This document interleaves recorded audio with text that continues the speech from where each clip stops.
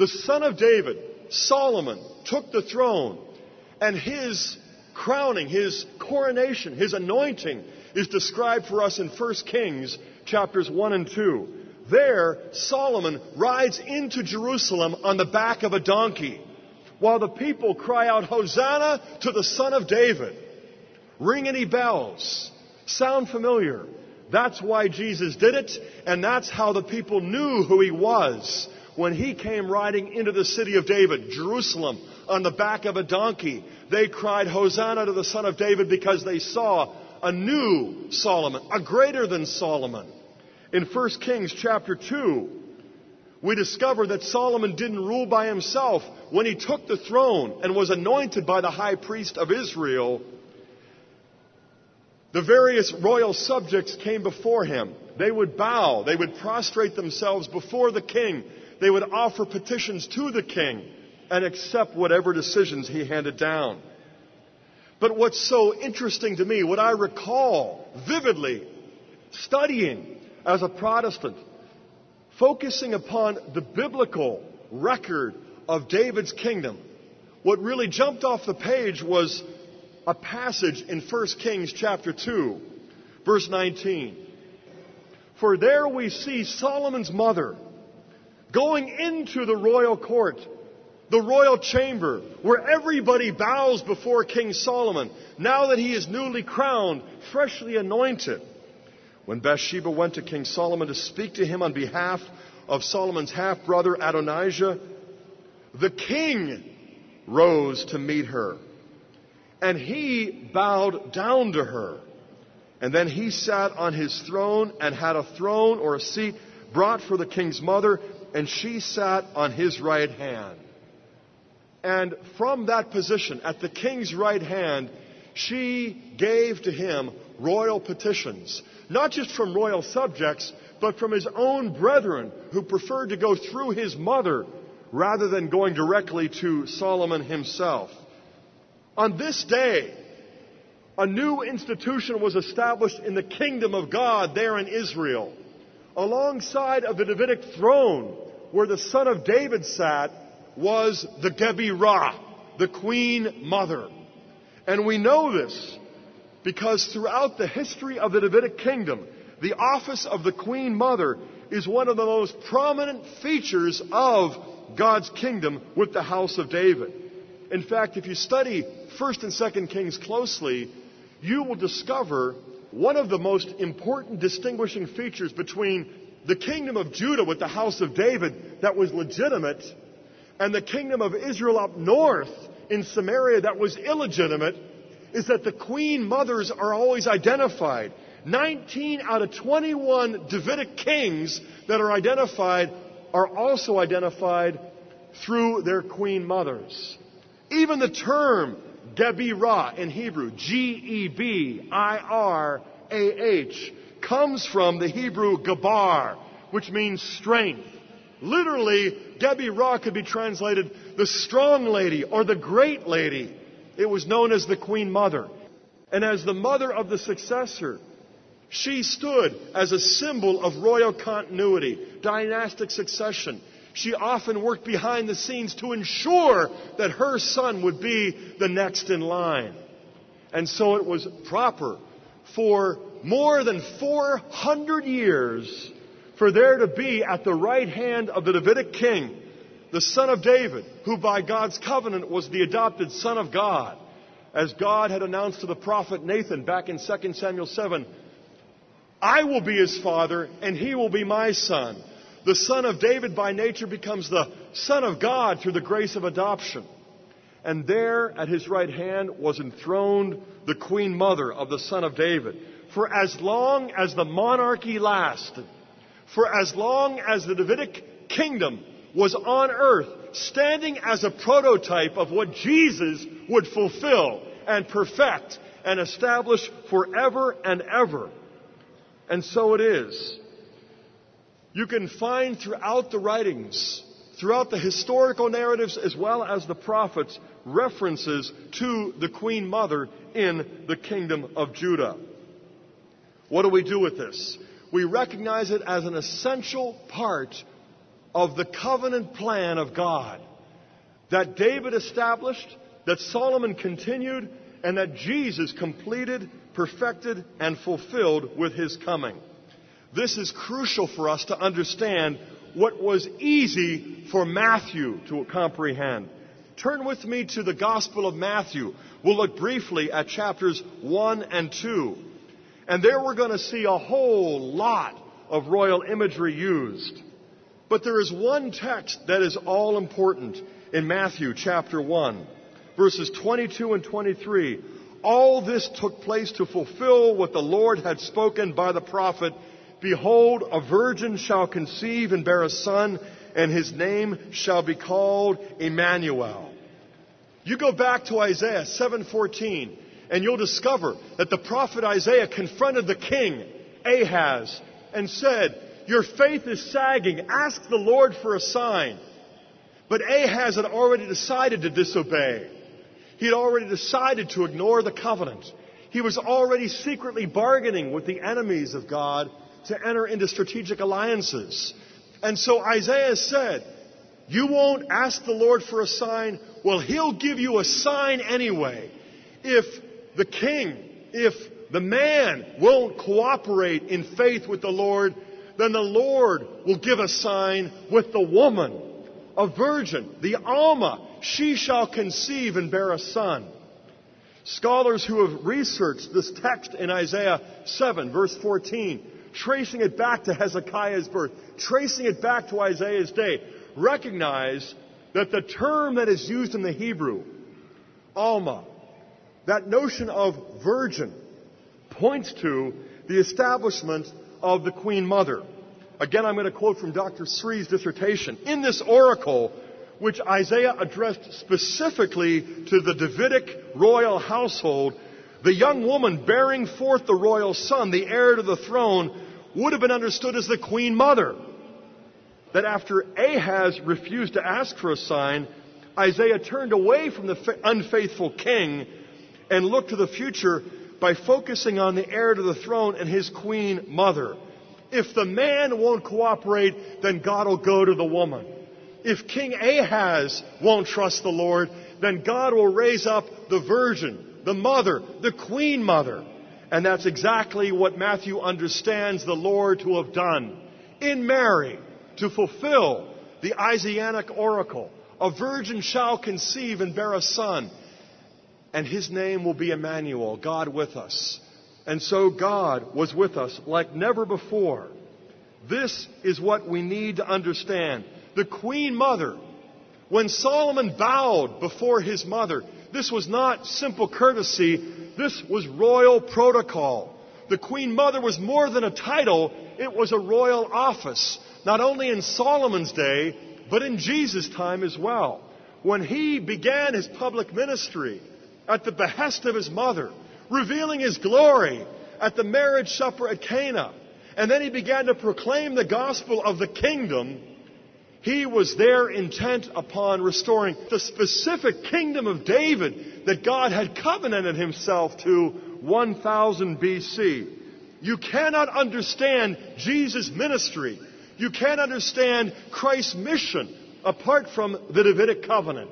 But once you see the Davidic covenant as the background for the gospel presentation of Jesus, you're going to be ready to understand the role and the office of Mary and why it is that Mary, who fulfills her role as a royal counselor, as a queen mother, is eventually exalted when her son, the royal son of David, ascends into the heavenly Jerusalem.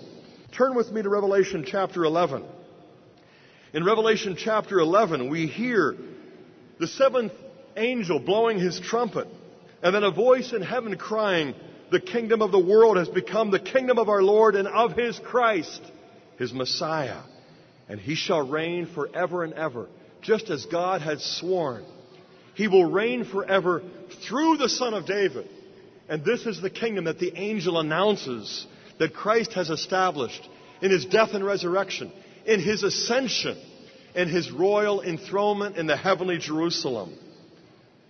And as we continue on in John's prophecy, We read in Revelation 12, just a couple of verses later, a great sign appeared in heaven. It's the same Greek word that you'll find in Isaiah 7:14. The Lord will give you a sign. A virgin shall conceive, and so a sign appears in heaven. A woman clothed with the sun, the moon under her feet, and on her head a crown of 12 stars. What is the significance of the crown? This makes the woman a queen. What is the significance of the crown being 12 stars? She is the queen of heaven. Her royal authority is a cosmic queenship, just like her son's is a cosmic kingship. And it goes on to describe the boy that she bore, the child in verse 5. She brought forth a male child, one who is to rule all the nations with a rod of iron. That is a quotation taken straight from Psalm 2, verse 9, a famous psalm written about the Davidic king, the Davidic kingdom. And this describes for us who the little boy is that the woman bore. This is why, from the earliest times, the Blessed Virgin Mary was recognized by believers in the East and the West as the Queen Mother of the Son of David. It wasn't a point of debate. It wasn't an issue of controversy. It was a topic of prayer. It was a subject of the hymns of the early church. This is our legacy. This is our lady. This is our mother. This is our queen. This is an integral and indispensable part of the kingdom of Jesus. You cannot have Jesus as king if you won't have Mary as queen. This is the gospel of the new covenant.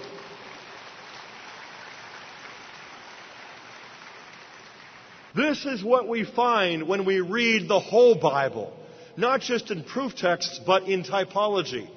In the 20th century, Pope St. Pius X looked at Revelation 12 and asked the question, Who is this woman? And he replied, Everyone knows this woman, clothed with the sun, the moon under her feet, crowned with 12 stars. Everyone knows that this woman signifies the Virgin Mary. John saw the most holy mother of God in eternal happiness, travailing in a mysterious childbirth. What birth was it?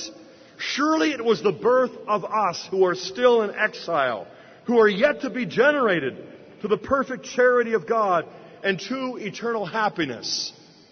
You see, she is laboring not in birthing Jesus, but in birthing us. In Revelation 12, verse 17, we discover that she has other offspring besides the Messiah, those who keep the commandments of God. As we strive to keep the commandments, as we strive to fulfill the covenant, we experience our weakness, but we experience God's strength. And how? Where? Who? The Blessed Virgin Mary, the new Eve, the Ark of the new covenant, the Queen Mother of the Son of David. She is the one we turn to. Not just because the Bible says so, not just because the church teaches it, because we need her. And it's high time we acknowledge it. I remember very clearly something that happened to me 15 years ago, within a year of having become Catholic. I returned to the seminary that I'd graduated from, summa cum laude, at the time, a very staunch anti Catholic evangelical Protestant who went on to ministry for a short period before the Lord picked me off with a whole lot of grace and a whole lot of truth that led me into the Catholic Church in 1986. Shortly thereafter, I went back to my seminary to visit. And I spent a weekend with a former professor who had become a dear friend whom I had served as a teaching assistant. He and his wife were very close to Kimberly and to me. I was alone with them. Kimberly couldn't come along, and she wasn't Catholic yet anyway. So one night we sat down and we began an intense discussion that ended up lasting for hours. It was a discussion that I had prayed for and prepared for for days, for weeks, for months. And in the beginning, it felt like batting practice. He raised all of the questions and the objections that I had raised against Catholicism and then found answers to. The Pope, purgatory, the saints, the Eucharist. He was raising all of my familiar objections, and I was going to one part of the Bible, then another and another. And his wife was looking more and more surprised at how easily it was to find answers to all of these common objections to Catholicism.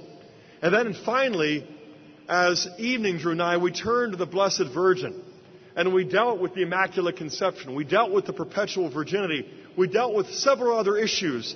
And I kept trying to make the point that the more we make of Mary, the more we make of Christ's redemptive work because He is the one who made her everything I believe her to be, everything the church teaches her to be.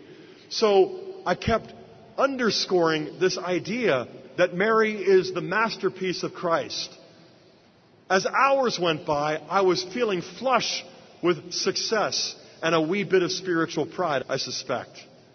And as midnight drew closer, I was feeling a little weary. He was still going though. And I could tell with this last topic that he raised, he was really ready to pounce. He said, What about the Assumption of Mary?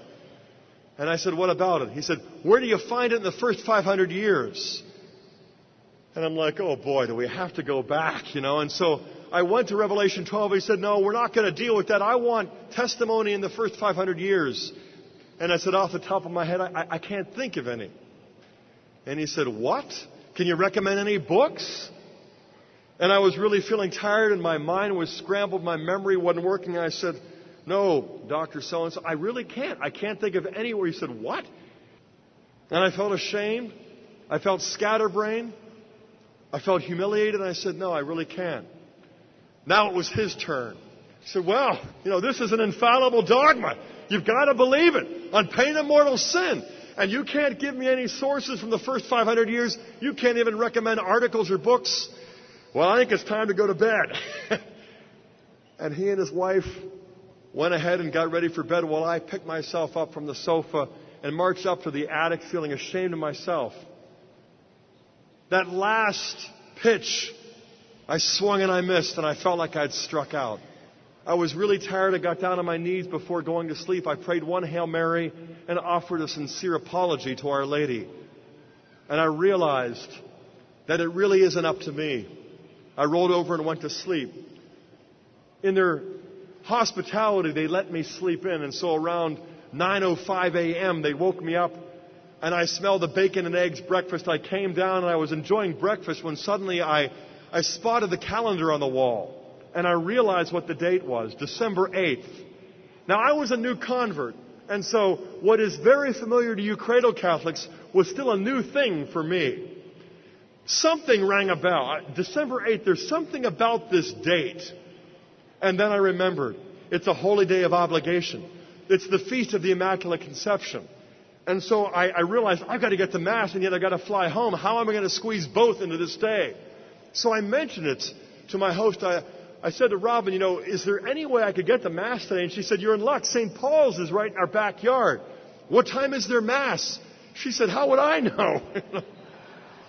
So, very sensitively, she called them up, and then she heard the secretary say, Mass is just getting over. No other Mass is scheduled for the day. She proceeded to call a half a dozen other parishes in the area in her kindness to me. And every single parish, the same thing was true. The Mass was over. What a schmuck I felt like. Not only did I botch it the night before, but now I'm going to forget about a holy day of obligation, the Feast of the Immaculate Conception. She was looking down at the yellow pages and she said, Well, here's something I never saw before. There's a Carmelite chapel about 15 miles from here, down in Peabody. Could you make it to that? I said, Well, you know, if there's a Mass. And so she called.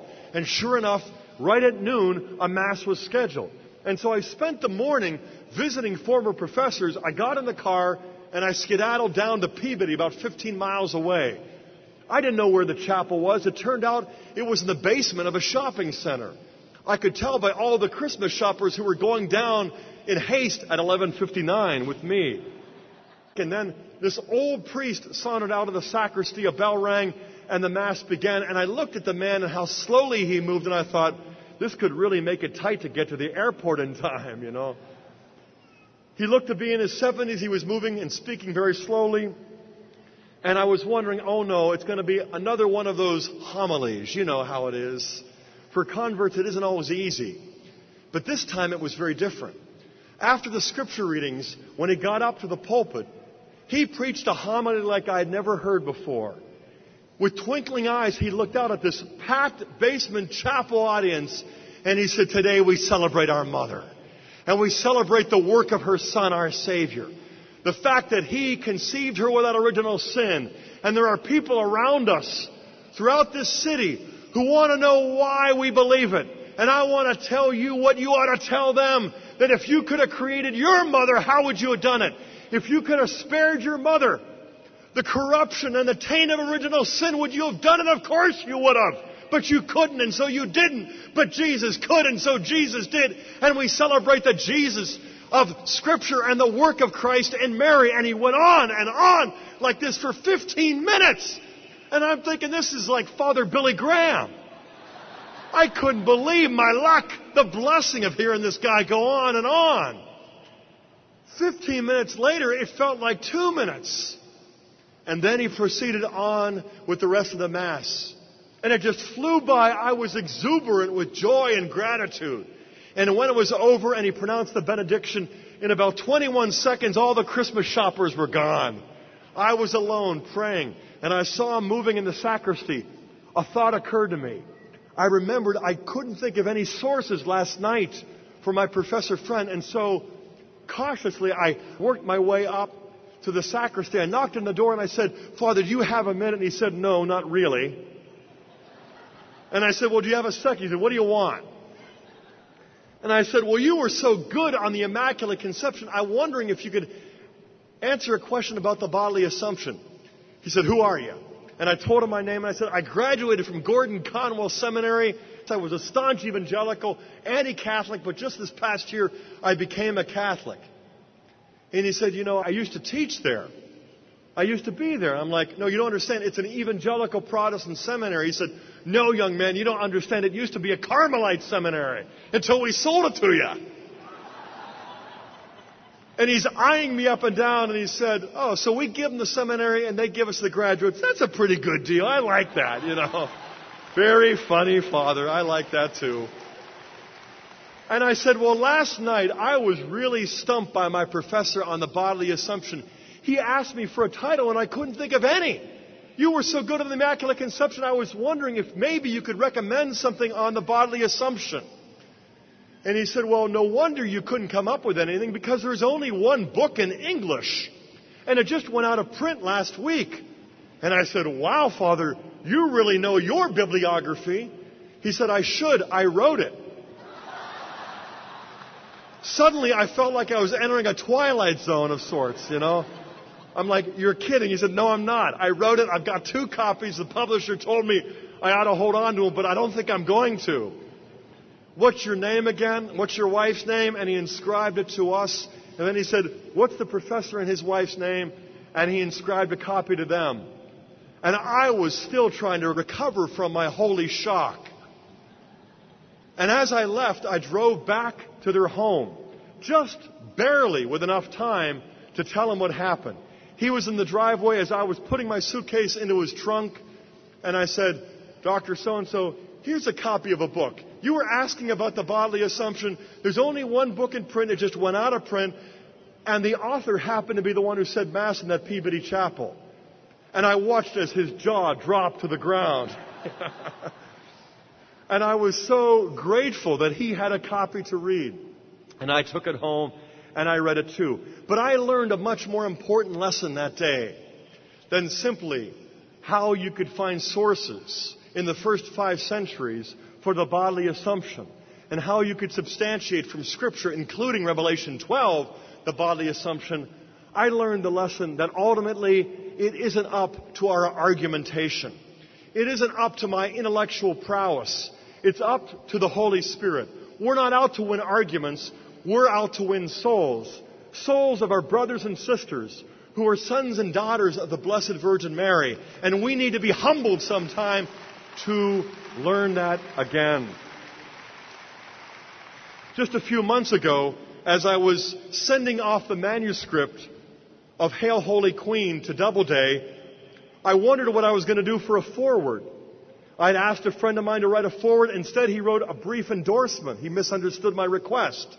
And so in prayer, I asked the Lord one morning, who can I ask? Who do you want to write the foreword to Hail Holy Queen?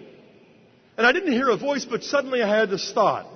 I wonder if old Father Kilian Healy, the Carmelite, is still alive. No, he'd be in his 90s. But on an impulse, I dialed Boston area directory information.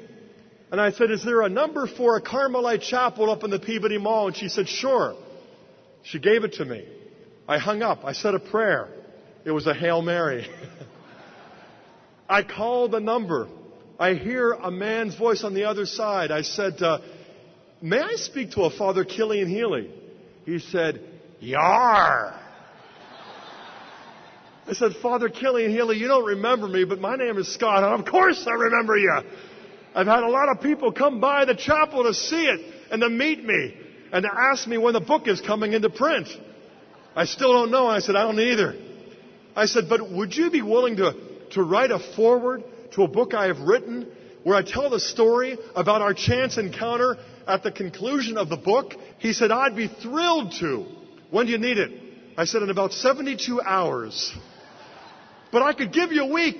He said, if you send it Federal Express, I sure will. And he sure did. It was there in 24 hours. He read it in two days. He called me. He thanked me. And he sent me a forward that I thank God for.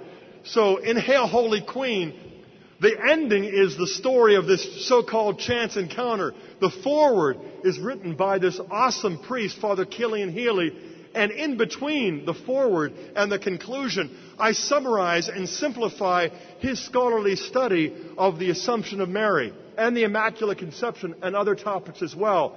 Because it is our birthright, brothers and sisters. She is our mother. She is our queen. She is more than the new Eve. She is more than the ark of the new covenant. She is my mama and yours. And I am not ashamed to admit it. This came home to me even more recently. Just a couple of, well, just a few months ago. I was in Rome with Kimberly and the kids on a pilgrimage to Rome and Assisi. In fact, this brand new tape series called The Venerable Beads, a Bible study on the Rosary that Kimberly and I did, was in the making. We were there in Assisi and then we were planning to go to Rome for a week to give these talks, these meditations on the Rosary. We arrived on Saturday. Sunday, we began our pilgrimage tour of Assisi. Just three weeks earlier, my six year old son Joseph had undergone an emergency appendectomy. We didn't think he'd be able to come.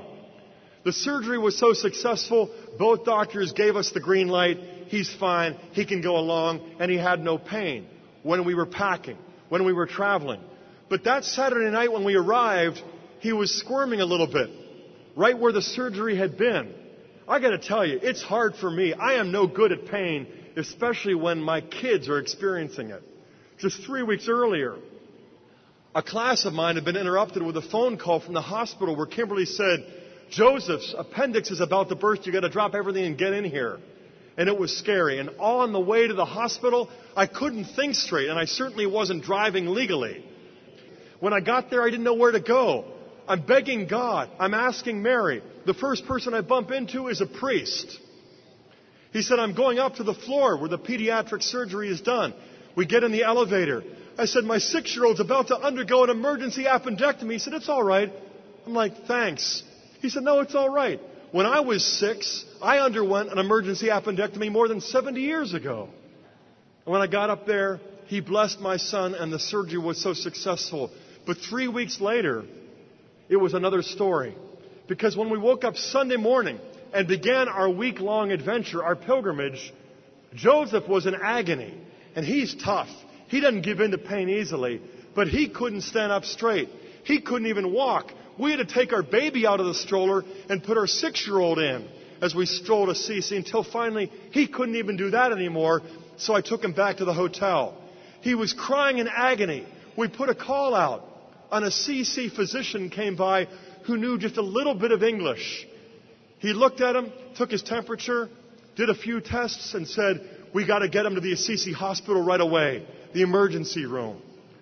So, in paternal panic, I picked up my son, got into a cab, and went to the tiny little hospital in Assisi, Italy, where nobody speaks English.